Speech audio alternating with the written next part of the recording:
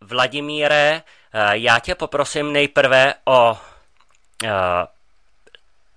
naprosto zásadní a naprosto nové informace, které ty máš, které se týkají naš brzkého vývoje České republiky a jejich obyvatel.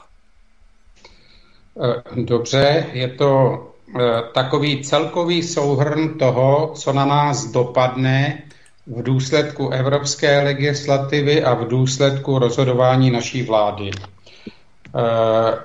To, co je zásadní, je, že budeme platit několikanásobně vyšší daň z nemovitostí než dosud. Rokem 25 to neskončilo. Eh, schválila to Evropská unie a v prosinci 22 schválila i ekologické daně a k tomu se dostaneme. To jsou ty emisní povolenky z domů.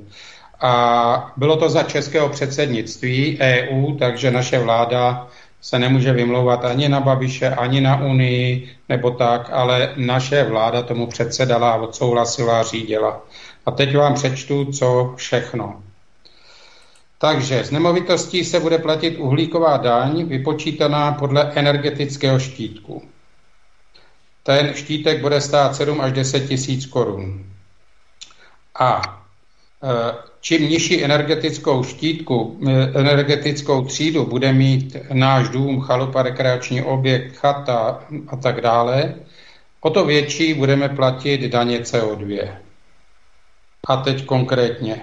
Každá budova, to je tedy za prvé, od roku 27, která nebude mít energetický štítek alespoň na úrovni třídy E, nebude mít moc být pronajata ani prodána od roku 27. To už je 5, 6, 2 roky a je to.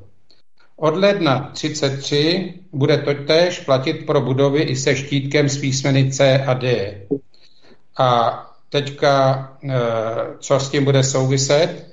Banky na takové domy přestanou poskytovat úvěry na opravně nákup nemovitosti a tak dále. No a teď eh, tady byla otázka jako obyvatel, no ale co když takové budově bydlím a nebudu ji chtít eh, prodat ani pronajmout? No tak potom budete platit vyšší daně a potom také pokuty.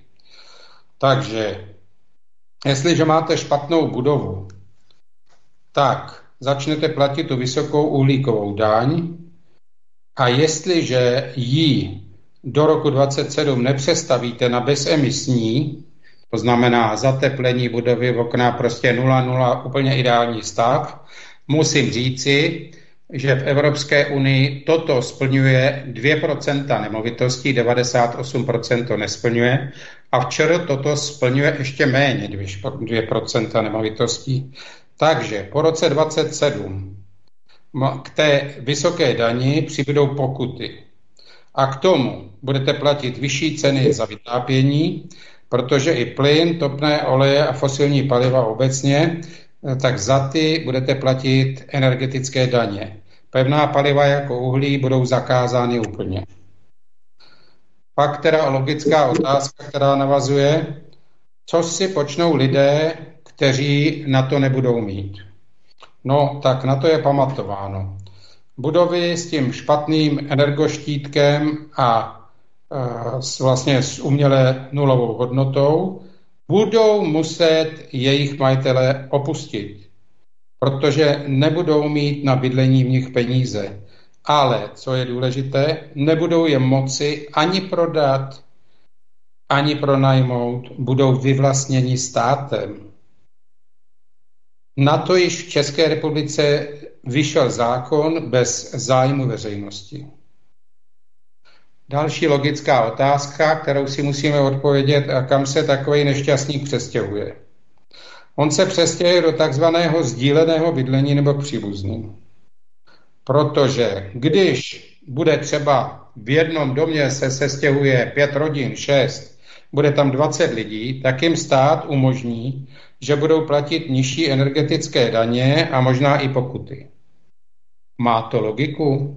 Já si myslím, že ani moc ne, jako jo, že takhle přijdou ty lidé o domy a budou bydlet v jakémsi sdíleném bydlení 20 lidí v nějakém domě 3 plus 1. Takže to skutečně je jaksi řešení, které asi se hned tak nebude líbit. Za další.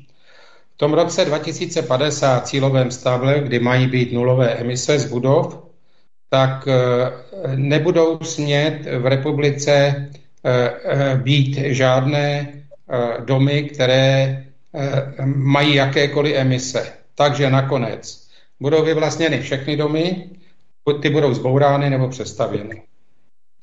Tak, co to bude znamenat? V první řadě. Nebude kde bydlet. Jo, jak jsem říkal, toto plní jenom 2% budov, včera ještě méně. A samozřejmě boom nějakých bezemisních domů, ten rozhodně se nedá čekat, nehledě na to, že ty peníze budou stát strašlivé peníze. Takže je to všechno, zní otázka, ne. Ty daně uhlíkové budou schváleny i na veškerou dopravu, pohonné hmoty, vytápění kanceláří, vytápění výrobních provozů.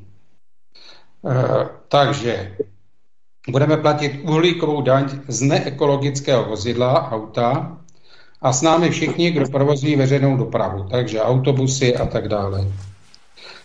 Čeká nás za prvé zvýšení cen pohonných hmot, hmm. o další uhlíkové daně e, e, a tím pádem vy z toho domu už velmi pravděpodobně tím autem vůbec nevědete. A samozřejmě tak jako se nebudou moc prodávat domy s těma špatnýma emisema, tak i starší auta budou mít automaticky nulovou hodnotu, nebudete je moc prodat, nebudete je moc pronajmout. Banka na ně půjčku neposkytne. Takže nás čeká sdílená elektrodoprava. Co to znamená? Úřadu kanceláří firm organizací se zruší kanceláře trvalý home a work office se zruší taky. Uh-huh. Takže jsme posunu, svědky posunu od osobních návštěv úřadu k bankovních identitám, datových skránkám skončí většina škol. Vyučování bude jenom na dálku. No, jeden z rodičů tím pádem nebude moc chodit do práce. Je to všechno? No ještě ne, ještě toho bylo málo. Vytápění výrobních hal průmyslu nebude po uvalení karbonových daní udržitelné. To samé platí pro veškeré budovy určené k podnikání, topení, daně z nemovitostí, energoštítky, doprava. To znamená, že podniky výrobní se buď to přestěhují ve velkém do ciziny, kde ještě jsou normální lidi, a nebo zaniknou. Takže skončí velká většina malých firm, protože to finančně neutáhnou, a nebudou moc schopní promítnout tyto náklady do cen, respektive lidé si jejich výrobky nebudou moc kupovat, protože budou strašně drahé. Takže se s nimi musíme rozloučit. Jo, takže e, začíná to už, ano, čeká nás masové propouštění, už to začíná, velká nezaměstnanost. U toho zdražení všeho, což už probíhá, výrobků, potravin, teď to bude i doprava, a lodní doprava bude mít taky emisní daně. Takže ještě stále to není všechno. E, kdo má výjimku? No výjimku budou mít zámky, historické budovy, to znamená ti bohatí, co to vlastní. Jo, takže lidé v důsledku toho všeho budou prosit vládu, aby zavedla takzvaný nepodmíněný základní příjem neboli žebračenky. To vlastně znamená, že eh, za ty žebračenky budou si moci zaplatit život ve sdílených prostorách, ubytoven a nejnutnější jídlo. Jinak nebudou mít na nic. Jo, je to ještě život, to, tak zní tedy otázka. No, ale jako závěr je, ale ono se to děje jenom tady, jenom tady v té Evropě a nejvíc včera. Třeba v Maďarsku to určitě nebude. Proč? Že jo? Takže ta konspirační teorie, my jsme o tom přeci věděli už roky, ale teď se to změnilo v realitu. Jo? Takže jestli někdo pořád nevěří, eh, že se to bude dít, tak pozor. Ono už je to všechno schválené. To, co jsem říkal, to všechno je schválené a bude to platit počínaje rokem 27. Hmm. Už se to zavádí. Jo? Rok 27 je za tři roky řešení. Buď to vystoupíme z Evropské unie, nebo se začneme bránit jako Maďarsko. Protože e, s touto vládou zahyneme. To je to, co já už říkám rok, dva. Celý Green Deal a všechno to okolo, to je e, nástroj, který nás zničí. Takže to je absolutně poslední zpráva takového časového vývoje a popisu všech legislativních aktů a důsledků na nás. Takže to je ten úvod za Jasan.